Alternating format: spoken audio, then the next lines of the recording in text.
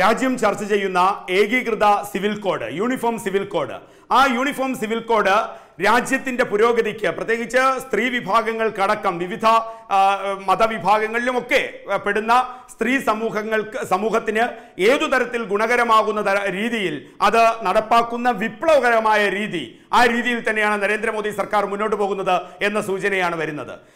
ഇന്ന് സമൂഹം അനുഭവിക്കുന്ന അതിൽ പ്രത്യേകിച്ചും സ്ത്രീകൾ അനുഭവിക്കുന്ന ഇൻഇക്വാലിറ്റി ലിംഗ അസമത്വം അതോടൊപ്പം അവർ നേരിടുന്ന സ്വത്തുക്കിന്റെ കാര്യത്തിലാകട്ടെ ഗാർഡിയൻഷിപ്പിന്റെ കാര്യത്തിൽ ആകട്ടെ അതോടൊപ്പം ദത്തെടുക്കലിന്റെ കാര്യത്തിൽ ദത്തെടുക്കലിന്റെ കാര്യത്തിലാകട്ടെ ബഹുഭാര്യാത്വം ഈ ഈ രീതിയിലാകട്ടെ വിവാഹ രജിസ്ട്രേഷനെ സംബന്ധിച്ചാകട്ടെ ഒരുപാട് തരത്തിൽ സ്ത്രീകൾ അനുഭവിക്കുന്ന കൊടിയ പീഡനം.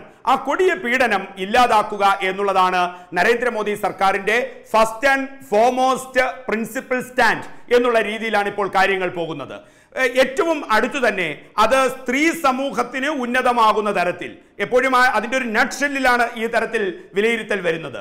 ഈ രാജ്യത്തെ കോടാനുകോടി സ്ത്രീ ജനങ്ങളുടെ ഉന്നമനത്തിനു വേണ്ടി അവരുടെ അവകാശ സംരക്ഷണം ഉറപ്പാക്കുന്ന തരത്തിലേക്ക് യൂണിഫോം സിവിൽ കോഡ് എന്നുള്ളത് മാറാൻ വരാൻ പോകുന്നു.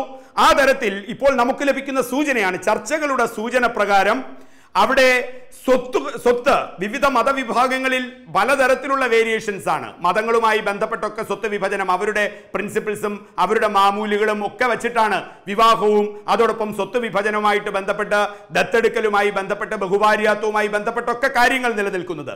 ഇതിനെയൊക്കെ രാജ്യത്തിന്റെ ഭരണഘടനയുടെ രീതിശാസ്ത്രങ്ങൾ ഉറപ്പുവരുത്തുന്ന രീതിയിൽ ഓരോ പൗരന്റെയും അവകാശം സംരക്ഷിക്കപ്പെടുന്ന തരത്തിൽ അത് സ്ത്രീ സമൂഹത്തിന്റെ ഉന്നമനം അതാണ് ഏറ്റവും പരമമായ ഫോഴ്സ് ഏറ്റവും വലിയ ശക്തിയാകുന്നത് സ്ത്രീ ശാക്തീകരണം എന്ന ലക്ഷ്യമിട്ടുകൊണ്ട് അതിനനുബന്ധമായിട്ടുള്ള രീതിയിൽ ഈ ഏകീകൃത സിവിൽ കോഡ് മാറാൻ പോകുന്നു. ആ അംശത്തിലാണ് ചർച്ചകൾ പുരോഗമിക്കുന്നത്.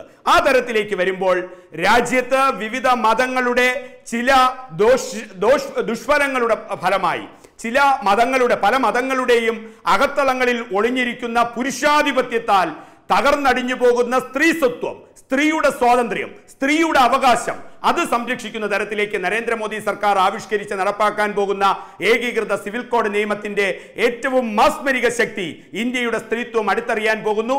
ഏതൊക്കെ തരത്തിൽ എതിർപ്പുകൾ ഉണ്ടായാലും ഇന്ത്യയുടെ ഇന്ത്യയിലെ ലക്ഷോപലക്ഷം സ്ത്രീകളെ ശക്തി ശക്തിപ്പെടുത്തുക അവരുടെ അവകാശങ്ങൾ സംരക്ഷിക്കപ്പെടുക. സ്ത്രീ ശാക്തീകരണത്തിൽ ഇന്ത്യ ഇന്ന് വരെ കണ്ടിട്ടില്ലാത്ത രീതിയിലേക്ക് ഈ നിയമ സംവിധാനങ്ങളെ ഇന്ത്യൻ ഭരണഘടനയുമായി ഏതു തരത്തിൽ കൂട്ടിച്ചേർക്കാം എന്നുള്ളത് നടപ്പാക്കിയേ അടങ്ങൂ എന്നുള്ള വാശിയിലാണ് ഇന്ത്യൻ പ്രധാനമന്ത്രി രണ്ടാമതും അധികാരത്തിലെത്തിയ മോദി സർക്കാർ.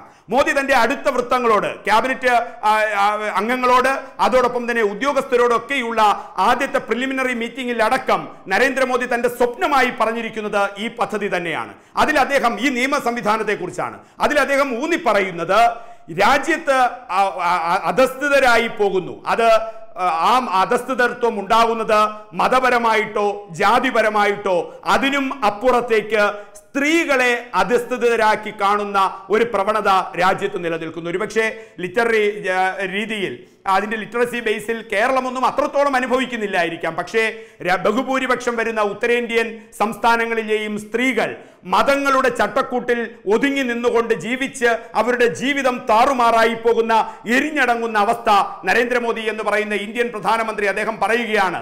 തെരഞ്ഞെടുപ്പ് പ്രചരണത്തിൽ ഉടനീളം രാജ്യത്തെ ഗ്രാമ ഗ്രാമാന്തരങ്ങളിൽ സഞ്ചരിക്കുമ്പോൾ അവിടുത്തെ സ്ത്രീകളെ അധസ്ഥിതരായി കണ്ടുപോകുന്ന അവകാശങ്ങൾ നിഷേധിക്കപ്പെടുന്ന അവരുടെ കണ്ണിൽ ഉറങ്ങിക്കിടക്കുന്ന കണ്ണുനീരിന്റെ അംശം താൻ തിരിച്ചറിയുന്നു. വീണ്ടും ഭരണാധികാരിയാകുമ്പോൾ അത് തുടച്ചു മാറ്റുകയാണ് ആദ്യം ലക്ഷ്യമിടുന്നത്. അതനുസരിച്ച് അദ്ദേഹം നൽകുന്ന നിർദ്ദേശങ്ങളിലെ ഫസ്റ്റ് ആൻഡ് ഫോർമോസ്റ്റ് പ്രയോറിറ്റി ഈ തരത്തിലാണ് വരുന്നത്. അവിടെ പ്രോപ്പർട്ടി റൈറ്റ്സുമായി ബന്ധപ്പെട്ട് സ്ത്രീകൾക്ക് ഏതു തരത്തിലാണ് ഈ തുല്യത കൊണ്ടുവരാൻ പോകുന്നത്? അതായത് സ്വത്ത് ഭാഗം വയ്ക്കലുമായി ബന്ധപ്പെട്ട് സ്ത്രീകൾ ഭരണഘടന ഉറപ്പ് നൽകുന്ന തുല്യ അവകാശത്തിലേക്ക് സ്ത്രീകളെ എത്തിക്കും. മതത്തിന്റെ അതിർവരമ്പുകളും ജാതിയുടെ അതിർവരമ്പുകളും അല്ലെങ്കിൽ അതിന്റെ ഉള്ളിൽ ഉറങ്ങിക്കിടക്കുന്ന നടപടികൾ ക്രമങ്ങൾക്കും അപ്പുറത്തേക്ക് ഇന്ത്യൻ ഭരണ ഉറപ്പ് വരുത്തുന്ന തുല്യനീതിയിലേക്ക് സ്വത്തുക്കൾ ഭാഗിക്കുന്നതിൽ സ്ത്രീക്ക് തുല്യ അവകാശം നേടിക്കൊടുക്കാനാണ് താൻ ആഗ്രഹിക്കുന്നതെന്ന് നരേന്ദ്രമോദി അടുത്ത വൃത്തങ്ങളുമായി സൂചിപ്പിക്കുന്നു. അവസാനിപ്പിക്കുന്നു അതോടൊപ്പം തന്നെ അഡോപ്ഷനെ കുറിച്ച് ദത്തെടുക്കലിനെ കുറിച്ച്. ദത്തെടുക്കൽ ഏതു തരത്തിലാണോ കാര്യങ്ങൾ വരുന്നത് അവിടേക്ക് സ്ത്രീയുടെ വ്യക്തിത്വം സംരക്ഷിക്കുന്ന തരത്തിലേക്ക് കാത്തുരക്ഷിക്കുന്ന തരത്തിലേക്ക് അഭിമാനമായി തലയുയർത്തി നിൽക്കുന്ന തരത്തിലേക്ക് ആ പ്രൊഫഷൻ ആ ക്രോസ് ഏതു തരത്തിലാണ് ഉന്നമനമായി നിൽക്കേണ്ടത് മാതൃകയായി നിൽക്കേണ്ടത് അദ്ദേഹം സൂചനകൾ നൽകുന്നു. അതോടൊപ്പം തന്നെ ഗാർഡിയൻഷിപ്പ് റൈറ്റ്സിൽ ആ, ഗാർഡിയൻഷിപ്പ് റൈറ്റുമായി ബന്ധപ്പെട്ട് സ്ത്രീകൾ വിവിധ മതങ്ങളും പോകുന്ന പോലെയൊന്നുമല്ല കാര്യങ്ങൾ പോകേണ്ടത്. ഭരണഘടന ഉറപ്പുവരുത്തുന്ന രീതിയിൽ. ഭരണഘടന ഉറപ്പുവരുത്തുന്ന രീതിയിലേക്ക് ഗാർഡിയൻഷിപ്പ് റൈറ്റ് ചേർത്ത് വയ്ക്കുന്നു സ്ത്രീക്ക് ഏറ്റവും ഉന്നതമായ രീതിയിൽ. അതോടൊപ്പം തന്നെ ഡിവോഴ്സുമായി ബന്ധപ്പെട്ട് ഡിവോഴ്സുമായി ബന്ധപ്പെട്ട് ഒരുപാട് തലത്തിൽ ഡിസ്ക്രിമിനേഷൻസ് അനുഭവിക്കുകയാണ് സ്ത്രീ സമൂഹം. ആ രീതിയിൽ വേർതിരിവുകൾ അനുഭവിക്കുന്നു ഒറ്റപ്പെടൽ അനുഭവിക്കുന്നു ഡിവോഴ്സുമായി ബന്ധപ്പെട്ട്. അത് അവസാനിപ്പിക്കാൻ താൻ പ്രതിജ്ഞാബദ്ധമാണ് എന്ന് നരേന്ദ്രമോദി പറയുകയും ചെയ്യുന്നു. അപ്പോൾ നിലനിൽക്കുന്ന ഡിവോഴ്സുമായി ബന്ധപ്പെട്ട് ന- നിലനിൽക്കുന്ന അസമത്വങ്ങൾ ഡിസ്ക്രിമിനേഷൻ സ്ത്രീയുമായി ബന്ധപ്പെട്ട് അവസാനിപ്പിക്കാൻ പറയുന്നു. ബഹുഭാര്യാത്വം അതോടൊപ്പം ബഹുഭർത്തൃത്വം എന്നൊക്കെയുള്ള രീതിയിൽ പല മതങ്ങളും കൈയാളുന്ന പുരുഷാധിപത്യപരമായ ചിഹ്നങ്ങളുണ്ട്. അതും അവസാനിക്കേണ്ടതുണ്ട്. ആ തരത്തിലൊന്നും സ്ത്രീയുടെ കണ്ണുനീർ ഇനി രാജ്യത്ത് ഇറ്റുവീഴാൻ പാടില്ല എന്ന് നരേന്ദ്രമോദി സൂചനകൾ നൽകുന്നു. മറ്റൊന്ന് രജിസ്ട്രേഷനാണ് മാരേജ് രജിസ്ട്രേഷൻ വിവാഹം രജിസ്റ്റർ ചെയ്യുന്ന രീതി. നിയമ സംവിധാനങ്ങളെ വെട്ടിച്ചുകൊണ്ട് വിവാഹം രജിസ്റ്റർ ചെയ്യാതിരിക്കുകയും അതുവഴി സ്ത്രീ സമൂഹം ചൂഷണം ചെയ്യപ്പെടുകയും ചെയ്യുന്ന അവസ്ഥയുണ്ട്. ആ അതും ഏതു തരത്തിലാണ് ഇന്ത്യൻ ഭരണഘടനയോട് അവകാശ തുല്യ അവകാശ രീതിയിൽ ചേർത്തു വയ്ക്കുക?